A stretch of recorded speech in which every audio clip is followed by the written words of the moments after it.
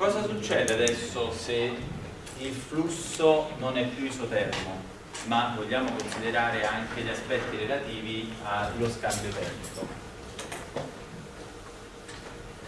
Allora, la parte termica evidentemente è più veloce da affrontare una volta che abbiamo affrontato il problema, come abbiamo appena fatto, fluido dinamico.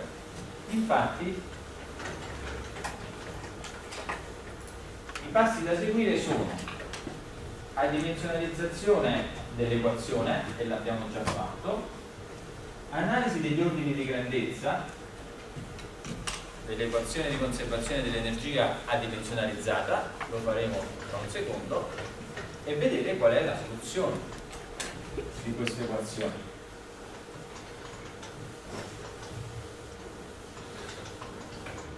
Allora, l'equazione di conservazione dell'energia adimensionalizzata era U star d star su dx star più b star dt star su dy star è uguale 1 su Venom per Brand che moltiplica la derivata seconda di t star su dx star più la derivata seconda di t star Start. Bene. In maniera analoga a quanto abbiamo già fatto eh, per il campo fluidodinamico utilizzando l'analisi degli ordini di grandezza, ovviamente anche qui sappiamo che l'ordine di grandezza di Q star è circa 1, mentre l'ordine di grandezza di, vabbè, certo l'ordine di grandezza di x star è anche lui pari a 1, l'ordine di grandezza di y star è uguale a delta t star, cioè questa volta lo spessore dello strato limite è lo spessore dello strato limite termico, non quello fluidodinamico, quindi il pedice T sta ad indicare appunto che stiamo parlando dello spessore dello strato limite termico tenete presente che in generale delta e delta t possono essere anche molto diversi tra loro in una data x di conseguenza quello che avremo è che l'ordine di grandezza di b star sarà pari in realtà per osservare l'ordine di grandezza di b star lasciamolo un secondo in sospeso ci conviene osservare che l'ordine di grandezza di T è circa unitario, va bene? Di conseguenza l'ordine di grandezza di ognuno di questi termini dell'equazione è circa 1 perché abbiamo 1, 1 e 1. Quindi se il primo termine avrà ordine di grandezza unitario, anche il secondo termine avrà ordine di grandezza unitario. E allora qui abbiamo ordine di grandezza 1 per T star, ordine di grandezza delta T star per Y star e di conseguenza B star avrà ordine di grandezza pure lei delta con T star. Ok? Quindi la conseguenza Y star ha ordine di grandezza delta con T star e quindi anche B star non è proprio immediata, quindi era il caso di spiegarlo un attimino perché la stavo dando in effetti per scontato. Allora a questo punto che cosa succede? Che anche il secondo membro dovrà avere ordine di grandezza unitario. Ma se andiamo a vedere i termini in parentesi, avremo che questo termine qui avrà ordine di grandezza sì, circa unitario, ma questo termine qui invece ha come ordine di grandezza 1 su delta t star al quadrato che è molto maggiore di 1 di conseguenza tutto il termine tra parentesi avrà l'ordine di grandezza di derivata seconda di t star rispetto a y star quindi questo termine qui è trascurabile rispetto all'altro e lo possiamo evidentemente togliere per riportare tutto il secondo membro a ordine di grandezza unitario avremo che l'ordine di grandezza lo scrivo qua di 1 su Reynolds per Prandtl per la derivata seconda di T star su dy star deve essere circa 1 giusto? quindi già che questo è 1 su delta star al quadrato vuol dire che l'ordine di grandezza di 1 su Reynolds per Prandtl è circa delta t star al quadrato.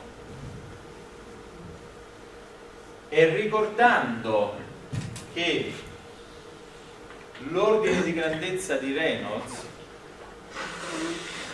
è circa 1 su delta star al quadrato perché l'ordine di grandezza delta star era 1 su eh, radice di Reynolds. Questo significa che l'ordine di grandezza di Prandtl è pari a radice ah scusatemi l'ordine di grandezza di Prandtl non è radice ma è quadrato ok tutto al quadrato delta star su delta t star. Benissimo.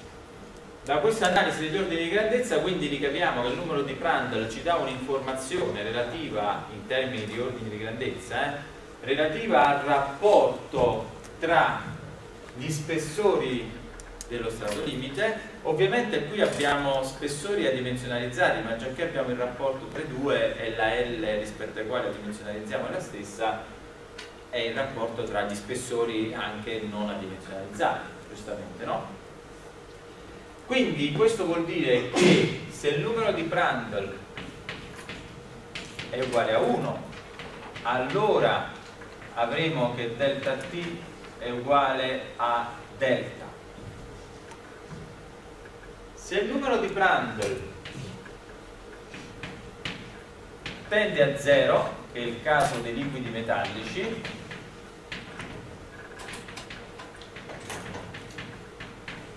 allora avremo che delta con t deve essere molto maggiore di delta ok? e allora che cosa significa? significa che lo spessore dello strato limite fluido dinamico diventa trascurabile rispetto allo spessore dello strato limite termico e quindi quando si va a risolvere il problema termico è come se il campo di velocità fosse tutto uniforme a un infinito. Perché questo?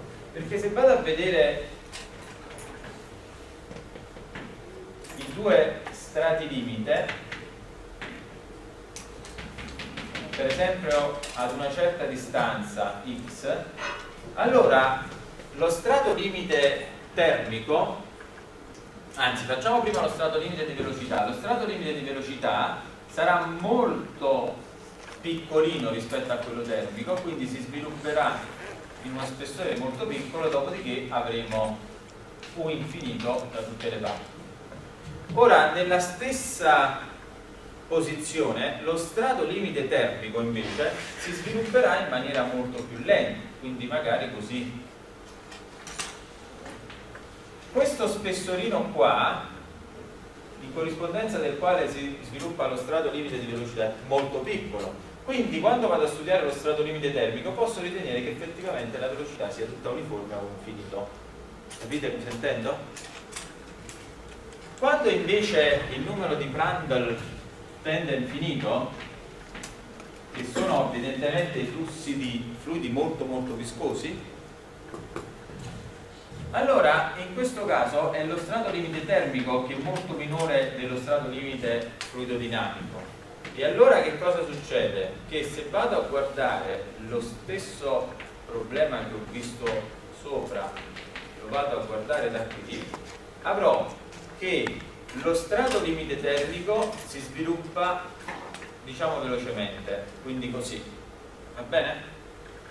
Quindi qui termina lo strato limite termico. Lo strato limite fluido dinamico si sviluppa molto più lentamente, quindi prosegue e vado a guardare cioè lo, come dire, lo strato limite termico si sviluppa nella primissima zona di sviluppo di quello fluido dinamico, già che posso ritenere che questa variazione di velocità qui sia approssimabile con una retta. Le vostre facce mi dicono che non avete capito, allora io capito. Allora facciamo un disegno un pochino più bello, va bene? Quindi vediamo il caso di Prandtl tendente a infinito. Cosa succede? X, Y, lo strato limite termico si svilupperà magari in questo modo, quello fluido dinamico molto molto più spesso. Bene? Quindi se io mi metto qua, avrò che lo strato limite termico si esaurisce qui e poi è tutto d'infinito va bene? lo strato limite fluido dinamico invece si esaurirà qua va bene? quindi siccome io sto guardando questa zona qui perché sto guardando il problema termico questa variazione di velocità in questo primo tratto la posso approssimare con una retta perché è un tratto molto piccolo va bene?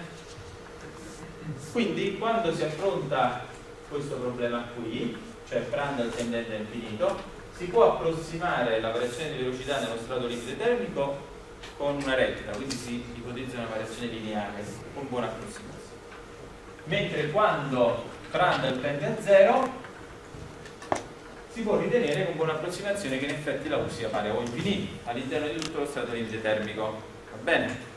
Ma il nostro interesse è quest'altro. Prandtl 1 o circa 1. Perché il nostro interesse è qua? Perché tantissimi fluidi di interesse pratico ingegneristico hanno un Prandtl circa unità. Per esempio l'aria c'è Prandtl 0,71 ok? Che è un valore vicino all'unità. Bene, allora che cosa succede quando Prandtl è proprio 1? Succede che questa equazione qui, dopo l'analisi degli ordini di grandezza che abbiamo appena fatto, diventa U star dt star su dx star più v star dt star y star uguale 1 su Reynolds per Prandtl, ma Prandtl è 1, quindi è 1 su Reynolds, per la derivata seconda di t star su dy star. Se andate a riguardare le equazioni del campo di velocità nello strato limite, questa equazione è uguale a quest'altra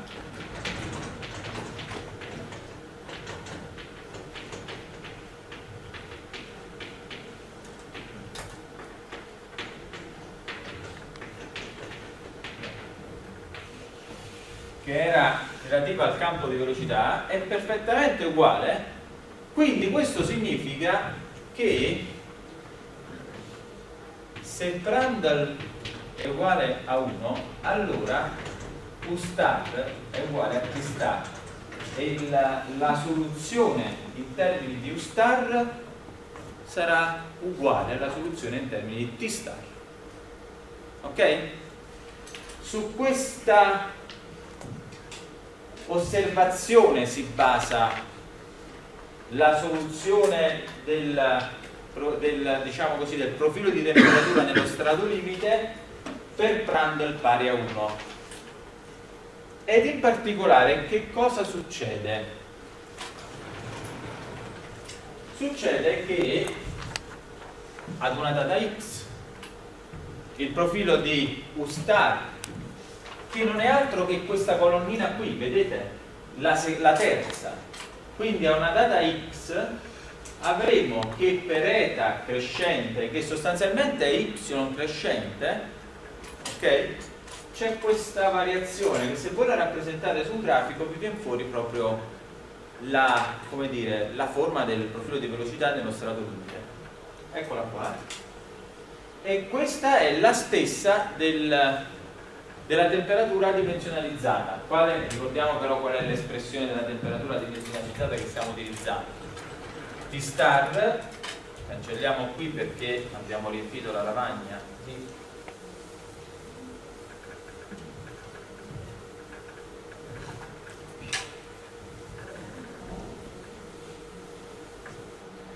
t star è uguale a t meno t infinito diviso ts meno t infinito. Quindi varrà 1 in parete dove t uguale ts e varrà 0 nella zona disturbata dove t è t infinito. Questa t star qui evidentemente coincide con la costante bene e allora se è così vorrà dire che sono in grado anche di andare a calcolare i parametri che mi interessano, cioè il numero di Nusselt. Cioè, non dimenticate che se studio il problema termico è perché ingegneristicamente voglio andare a determinare qual è lo scambio termico che avviene tra il fluido e la superficie. Allora,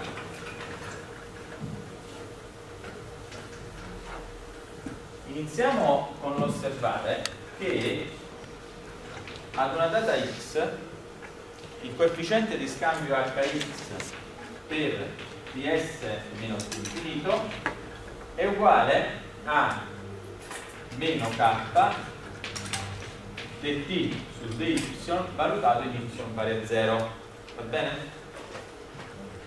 ora se vado ad, ad adimensionalizzare questa espressione ottengo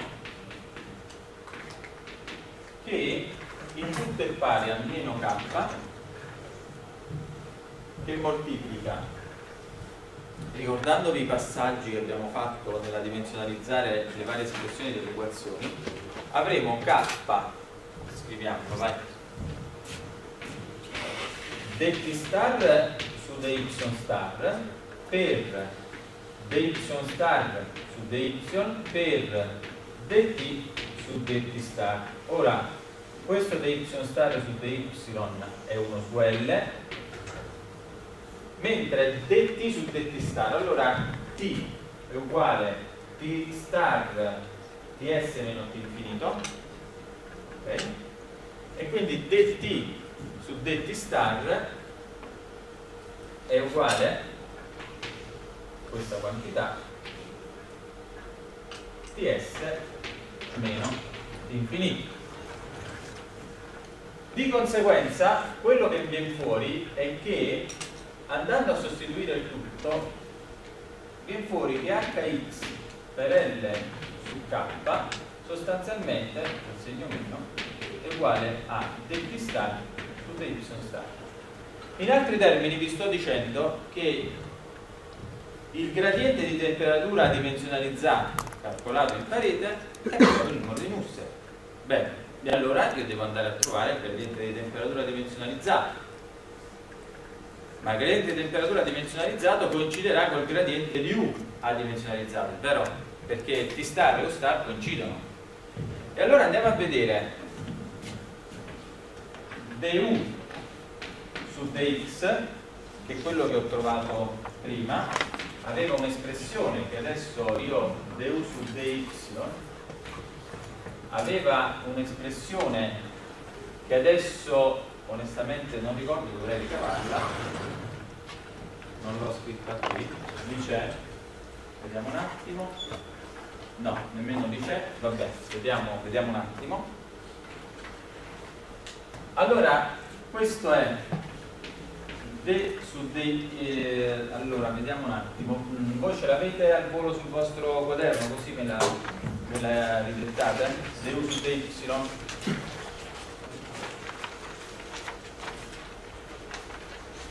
tutti i passaggi volete sapere oppure?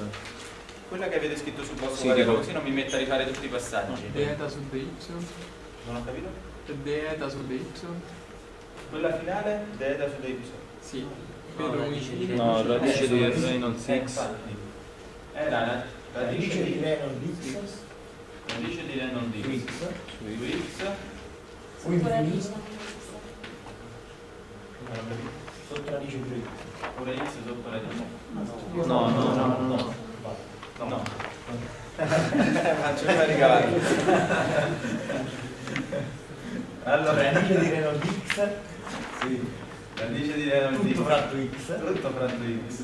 Un per, infinito. per un infinito, Eh, derivata seconda di f su dieta. c'era un segno Ah, meno quel caso?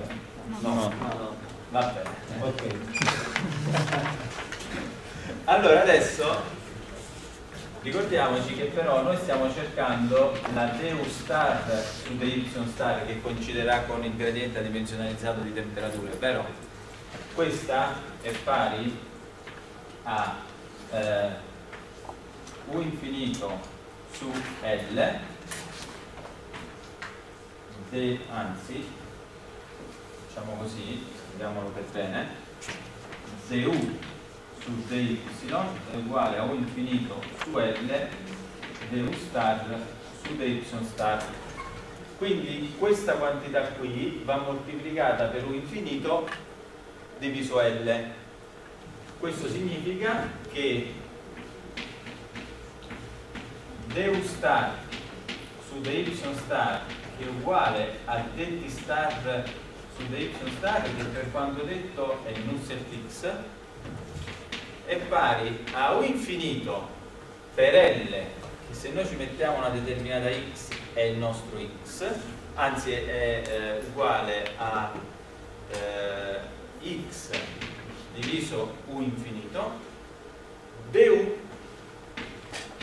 su dy cioè uguale a x su infinito che moltiplica radice di Reynolds x su x u infinito per la derivata seconda di f su θ. Ora ricordiamoci che tutte queste cose vanno fatte in parete, in parete. E quella derivata seconda, quella di f su θ, vi ricordate che era 0,332? Giusto? Bene, questo scompare, questo scompare e allora abbiamo trovato che il nostro nusselt x è uguale a 0,332 salute, allora mica ho fatto troppo brutto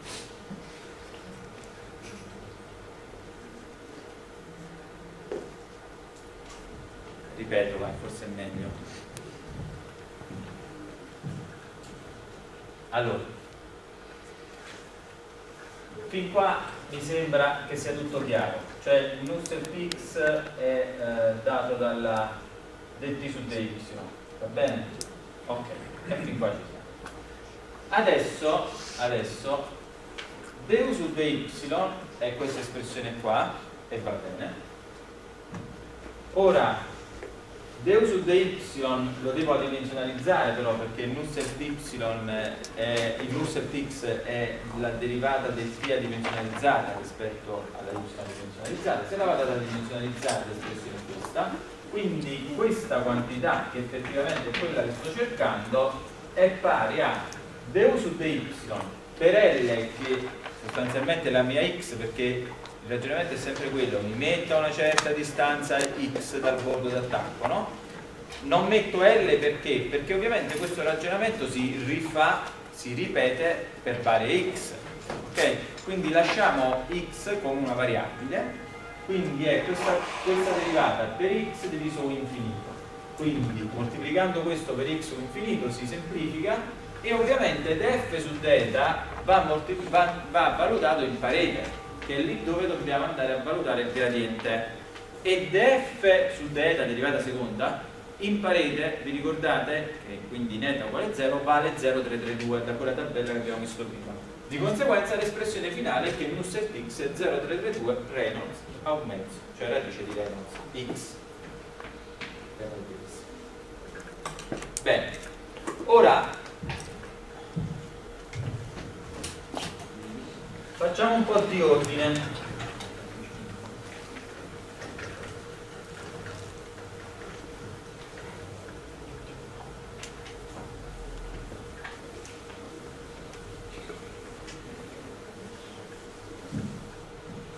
Abbiamo CFX era 0,664 diviso radice di Reynolds x.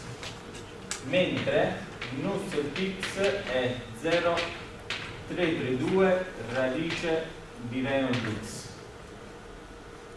Questo evidentemente è 2 volte 0,332, di conseguenza posso scrivere che questa, questo 0,332 è pari a cfx mezzi per radice di Reynolds x e questa espressione viene fuori da qua 0,332 di conseguenza avrò che Nusselt x è uguale cfx mezzi per radice di Reynolds x. Ovvero Nusselt x su Reynolds x uguale cfx mezzi. E nel caso di Prandtl unitario questo Nusselt x su Reynolds x coincide con Nusselt x su Reynolds x per Prandtl, cioè che Prandtl vale 1 evidentemente, e questo numero qui è il numero di Stanton. Stanton x. Ora, cos'è questo numero di Stanton? Rappresenta, se andiamo a esplicitare termini,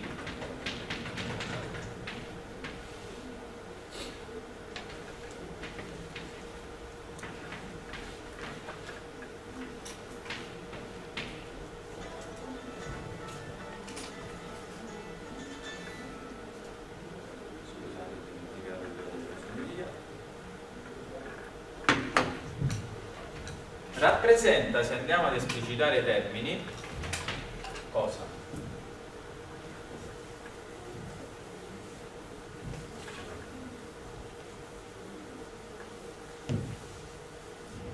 Eh, qui ho, ho scritto una stupidaggine, non mi avete detto nemmeno nulla, ho scritto Nusselt x uguale h delta t, no, Nusselt x uguale hx per L su k, quindi se vogliamo utilizzare il posto di L, mettiamo x, ok? Vabbè.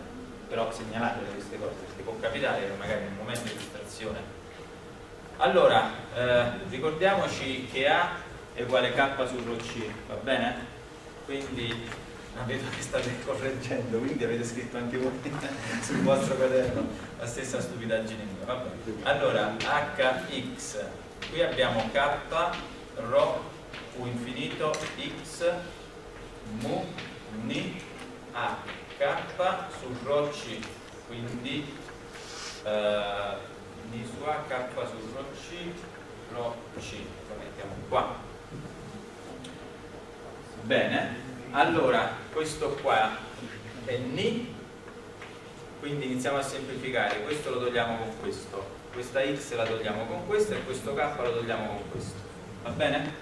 quindi il tutto può essere scritto alla fine come hx delta t, se vogliamo, diviso ρ c u infinito delta t.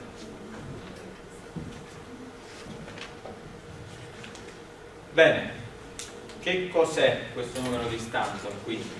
È l'energia termica scambiata secondo il meccanismo convettivo per unità di tempo di superficie rispetto alla massima che può essere scambiata per unità di tempo di superficie.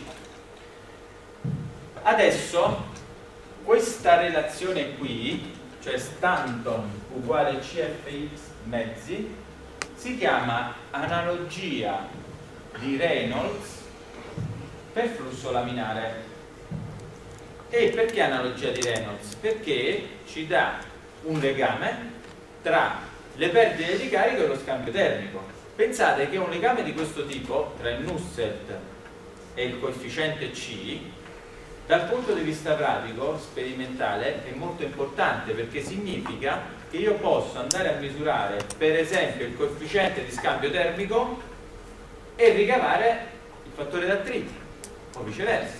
Quindi che cosa faccio? Misuro quello che mi è più facile misurare, ok? E l'altro lo ricavo utilizzando l'analogia di Reynolds. Però, però questa analogia così come è scritta è vera solo per Prandtl uguale 1 Nella realtà Paulhausen ha osservato che andando a rappresentare il profilo di temperatura nello strato limite in funzione di eta evidentemente per valori diversi del numero di Prandtl dove questo è il Prandtl unitario vedete che se Prandtl è 0,8 0,6 siamo abbastanza vicini ma quando Prandtl cambia molto il profilo è molto differente. E ciò che ha suggerito Colhausen è un fattore correttivo che è Prandtl elevato a un terzo. Con questo fattore correttivo in effetti è stato possibile ottenere un ottimo accordo tra quel profilo, tra i vari profili di temperatura dimensionalizzati e l'analogia di Reynolds per eh, sostanzialmente per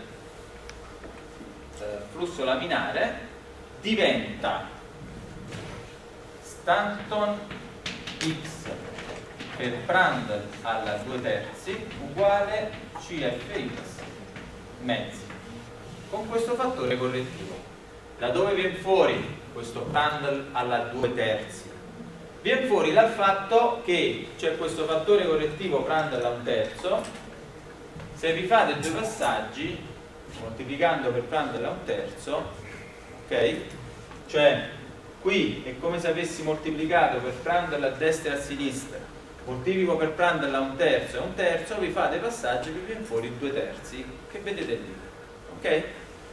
Ultima cosa, e abbiamo terminato, sulla base di questo fattore correttivo il numero di Nusselt locale diventa 0,332 Reynolds a un mezzo, l'abbiamo visto prima, per il fattore correttivo Prandtl a un terzo, integrato 0,664 Reynolds L a un terzo, Prandtl a un mezzo, scusatemi, Prandtl a un terzo.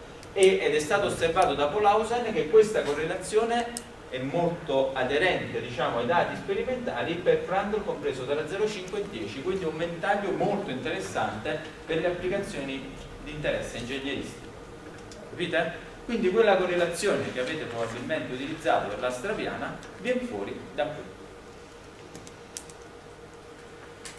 Ora mm, come dire faremo il punto della situazione anche facendo delle, delle esercitazioni in aula ovviamente. Però adesso l'ora è terminata quindi se avete domande chiedete pure altrimenti ci vediamo uh, vi ricordo venerdì non giovedì la, la, lezione è spostata per il seminario che dovete seguire con il professore Falcone domande? benissimo allora oggi pomeriggio esercitazione al calcolatore e noi ci vediamo venerdì. Buona giornata. Stessa ora